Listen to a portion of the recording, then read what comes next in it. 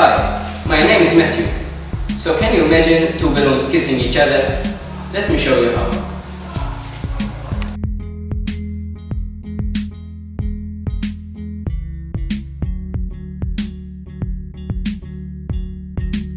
Do you know why this happens?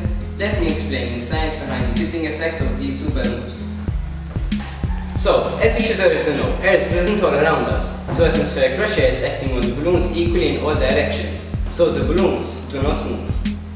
When the air between the balloons was blown away, the atmospheric pressure at that point was reduced. Since the atmospheric pressure on the outside of the balloons is now larger than on the inside, the balloons were pushed inwards towards each other. Now you know how to make two balloons kiss. Hi, my name is Ian. And my name is Marcio. Would you agree on sleeping on the tip of a pin?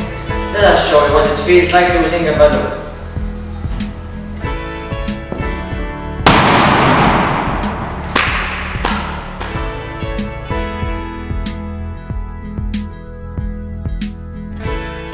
When the balloon was pressed on the tip of the pin, it popped because the force was concentrated on just a single point, the tip of the pin, which has a very small area. So, the pressure on the balloon was very large. What do you say now? Would you sleep on the tip of a pin? What about a whole bed of pins? Would you consider yourself sleeping on the tip of a bunch of pins? Let us see.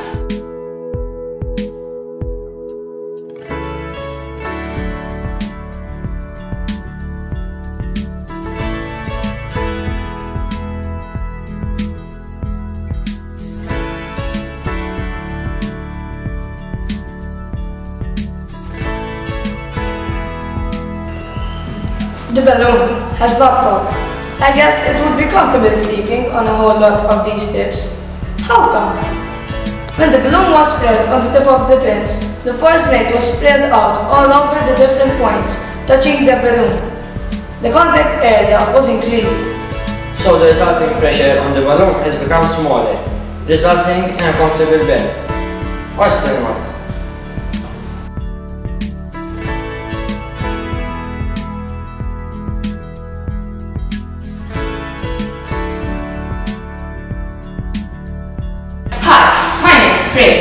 My name is Clay. Can you imagine a balloon crushing a plastic water bottle? No? What's this demonstration? So, all you need is one large plastic bottle with a hole drilled at the bottom of it. Just insert the balloon and attach it to the bottle neck.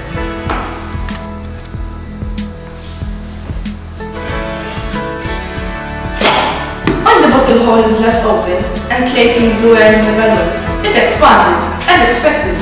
Do you know why?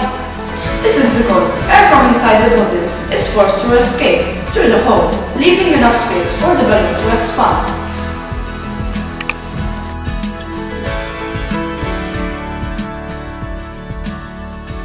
When Clayton closed the hole and tried to blow up the balloon, he just couldn't. This is because the air inside the bottle is pressurized and is taking up the space.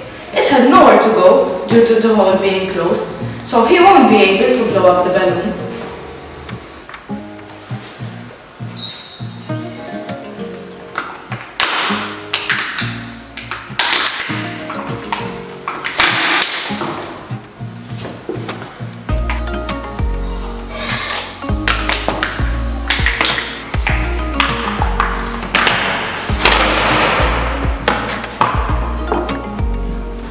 As you noticed, the bottle was crushed. This happened because as Craig blew in the balloon, air from inside the bottle was forced out. When Craig closed the hole and stopped blowing the balloon, the atmospheric pressure inside the bottle decreased, resulting in a greater atmospheric pressure outside the bottle. This higher pressure on the outside managed to crush the bottle.